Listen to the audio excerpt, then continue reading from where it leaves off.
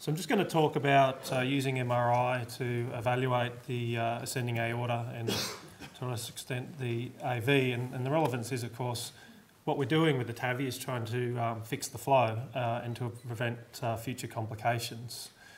Um, the uh, title refers to a, a, large project we're running called Beyond the Tape Measure, which is uh, basically saying measuring geometry um, and simple um, uh, flow metrics is probably not covering um, covering the risk, uh, describing the pathophysiology um, uh, which occurs um, in abnormal flow situations that cause dissections and further dilatation. Um, so as a result of that, our ability to predict events uh, is fairly poor. So we're never quite sure, um, say, of Richmond's patients, which of those will go on to have dissections, which will go on to um, further dilate, um, and I think the same is true of our uh, post-procedural patients. Um, I don't think we have a very good predictive power for, for knowing how it's going. So my particular interest is 4D flow. 4D flow is a, a technique that's been around for a while, uh, but in my view has only been clinically practical for the last uh, three or four years. Um, it's a beautiful data set. You can get the entire data set in about nine minutes of free breathing. Uh, it's actually a lot easier than conventional MRI to acquire. Um, and it gives you ability to retrospectively analyse the entire flow patterns in the aorta and around the valve. Um, and um, it's really the, a complete vector description of the entire flow. But it is hard, and the reason it's hard is because that data set is massive, about six gigabytes in most patients. Um, and, but it is getting easier, and that's been the subject of a lot of my work. So here's a picture on the left. You can see blue dots which represent uh, the different images we've obtained um, uh, during the cardiac cycle. And on the right, uh, that's some fairly basic processing generating vectors from those. Um, and that's when the work begins from my perspective. So all these uh, measurements uh, and descriptions on the right are the sorts of things we can target. And I think you'll agree these are all things that are relevant uh, to survival, um, to um, performance of any device that you wanted to put in or any native valve. One of the particularly interesting things uh, that we've been working on hard is pathline analysis. And the reason that's important um, is it gives us a way to numerically understand what's going on. So the example in the aortic valve would be tracking, for instance, uh, the, the flow of blood particles, so to speak, as they curl up and uh, cause uh, leaflet closure and opening. Um, on the bottom you can see filling in the right atrium and we've simply tagged inflowing blood uh, blue, uh, green and red with successive heartbeats and you can see we can actually track uh, with exquisite detail what goes on inside um, the atrium which is quite a complicated structure. Um, so in my clinical work um, I do a lot of um, aortic imaging um, I now use uh, a framework uh, by, by, a company called Arterys that I collaborate with, and that gives us quite nice qualitative and simple quantitative data in, in real time, more or less. Um, and it allows me to use that data to report on in a clinical setting. Um, numerically in the lab, uh, we use our own software, which we've developed a lot. Um, and that's going to allow us over time to use much more targeted, specific um, metrics um, that uh, can give us a lot more information.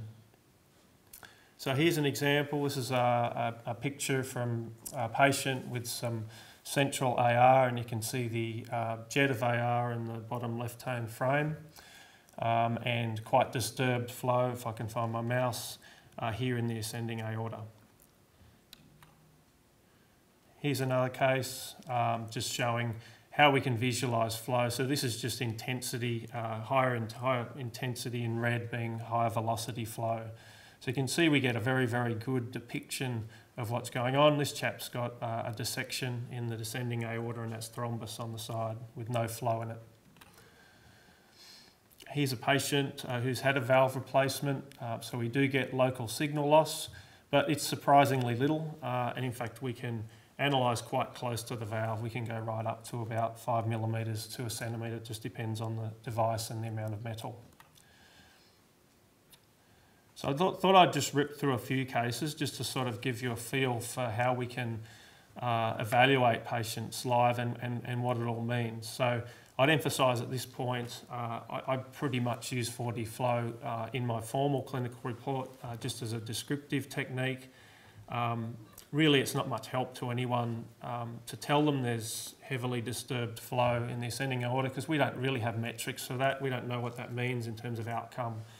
Um, and as you know, uh, cardiology is, is, all about the numbers.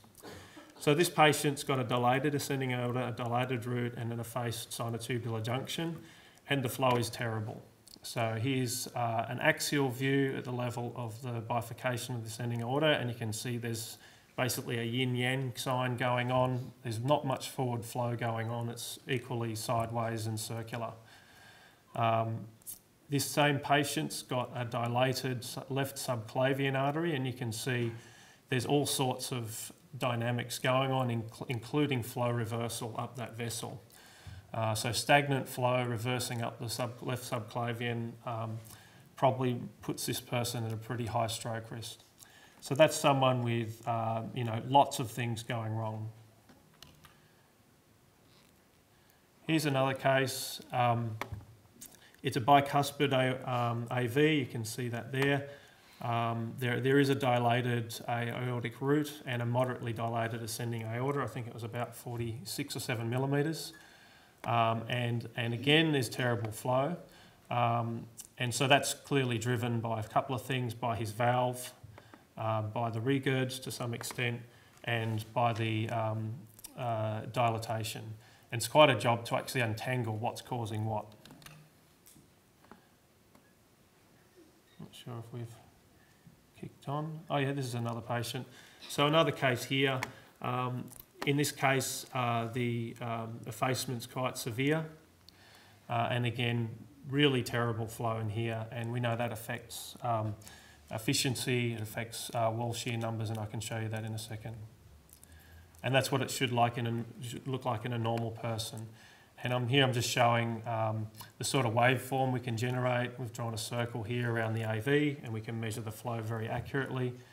Um, and this works very well. And um, I think in the next slide, the same person, you can see that's what flow should look like. So this is laminar flow here, where you've got high flow in the centre and it tails off to the sides. Very, very different picture. So in terms of advanced metrics, uh, this isn't in the clinic yet. This isn't something I'd, I'd uh, report on for a patient, but these are data generated in my lab, uh, measuring wall shear direct from the, um, the 4D flow data. We've just published the first proper description of wall shear stress in a normal population, 250 people. Um, and it's the first time that measured wall shear stress, as in measured from data, um, is close to the numbers that you should get, that we know you should get from simulations. So no one's actually ever really measured directly what wall shear stress is in a decent sized population. Um, and this is the sort of depiction I like. I think this is the sort of picture that has got clinical um, utility where we can actually just map out where the regions of high and low wall shear are uh, across the cycle. So here we've slit open the aorta along its length, we've unwrapped it, and we've laid it out with the valve at the top and the uh, diaphragmatic uh, portion of the aorta at the bottom. Another thing we're doing with 4D flow here, so these are four different um, prosthetic valves. So a bileaflet, a bioprosthesis and a monoleaflet. Uh, I didn't have a TAVI to show you. Um, the, these uh, coloured pictures depict uh, fluid shear strain and on the bottom vorticity. So both reflecting um, the degree of um, abnormal uh, flow. And you can see this is the sort of profile you might expect in a healthy person. So it's a nice smooth profile with a peak at systole. Um, this is a log scale. Um, the bioprosthesis, you can see there's a really prolonged high, high um, uh, fluid shear strain region and high vorticity, very, very, very abnormal flow. So, you know, I think this is uh, potentially very valuable in terms of assessing actually the outcome uh, at a fluid dynamics level of your um, interventions. And just another picture of um, the wall shear numbers. So, might just end there. I think I'm on time.